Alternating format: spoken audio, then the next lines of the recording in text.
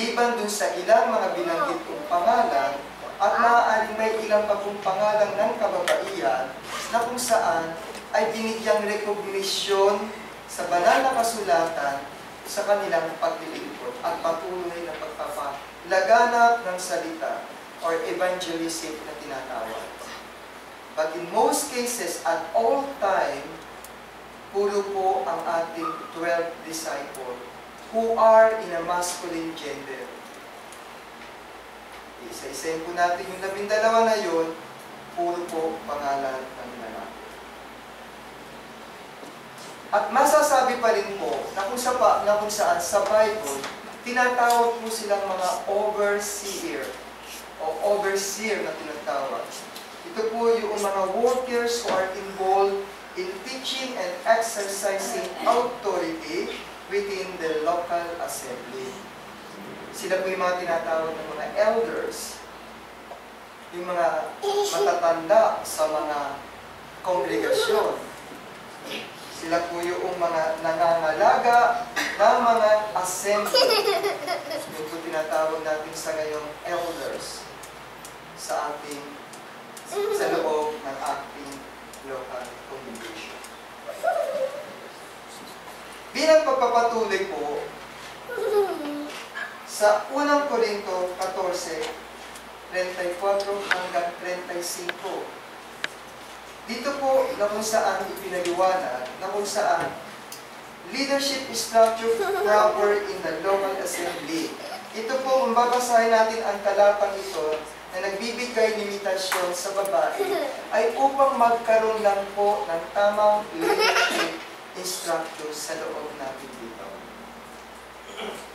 Ang babae ay magsitahimik sa mga iglesia sapagkat sila'y walang kapahintulutang mga salita, kundi sila'y pasako, gaya naman ng sinasabi ng kautusan.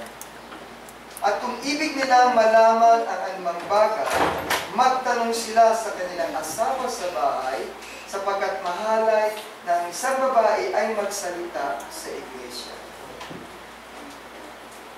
Ang ilaw po ng sinasabi. Pero po, bakit yung ilan nating mga ka magtutmangaral, mayroon pong pagka, nagbibigay ng pagkakataon na magtanong pagdating po yun sa bahagi ng Bible study. Pero pagdating po sa pamamahayag o tinatawag nating sermon, nananatili po ang katahimikan lalo-lalo na ng kababaihan.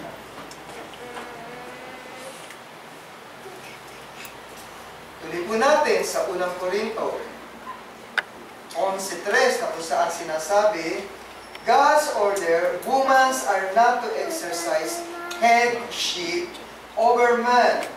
Sa 3, sinasabi po, Dadapat ibig ko na inyong malaman, ang Pangulo ng babae, po, binanggit ko, kagaya kanina, ay si Kristo. Pangulo ng bawat lalaki ay si Kristo, at ang Pangulo naman ng babae ay lalaki. At ang Pangulo ni Kristo ay ang Diyos.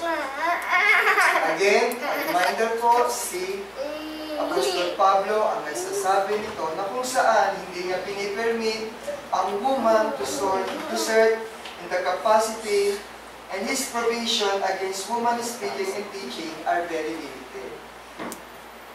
Ibig sabihin po, nung sinabi ni Apostol Pablo, yun lamang po sa oras ng pangunguna sa assembly. Pero may, hindi po niya sinabi na limitado o hindi po sinabi ni Apostol Pablo na hindi magtuturo ang babae. Hindi po. Ang sinabi lang po ni Apostol Pablo sa panahon na kung saan sampul ito. Pero ang babae po ay mayroon pong kalayaan na kung saan ay gawin ang anumang ginagawa ng kalalakihan. Gaya ng sinasabi ko po, tulad ng evangelism o to evangelize, to encourage some Christian people, explain, magpaliwanag tayo kung tayo may kaalaman, i-share natin ang ating insight, testify the script- scripture as long as in submission to their husband and the pastoral overseer of the assembly. Halimbawa po kayo, mayroon po kayong sapat na kaalaman. Nagbabasa kayo ng Biblia, nakikinig kayo sa mga turo at aral. Iba lang dito, meron pa nga po dyan, pati sa radyo. O kung minsan dumadalo sa ilang mga kongregasyon. Lumalago po ang iyong kaalaman. Yung po inyong natututunan ay hindi rin po makabubuti kung itatago po ninyo yan. Maaari niyo po yan ibahagi sa ibang mga uhaw sa salita ng Panginoon. Maaari kayo mag-testify kung anong nangyari sa inyong buhay na kung saan pinagkaloob sa inyo ng Panginoon.